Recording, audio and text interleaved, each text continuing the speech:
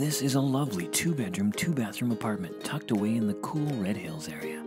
Located just five minutes from the foot of the hill, this property has an open living and dining room, in unit laundry, and a large kitchen with granite countertops. There are also spacious bedrooms, a large master bathroom with a jacuzzi, and more. Complex amenities include a swimming pool and ample parking. Call us today to book your appointment to view.